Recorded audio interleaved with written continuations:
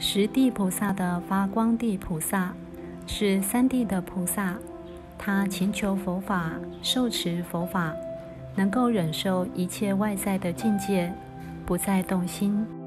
他精修定学，得到慈悲喜舍四无量定，不再被贪嗔愚痴所欺骗蒙蔽，圣格升华，如同光明一样，驱散了一切的昏暗不明。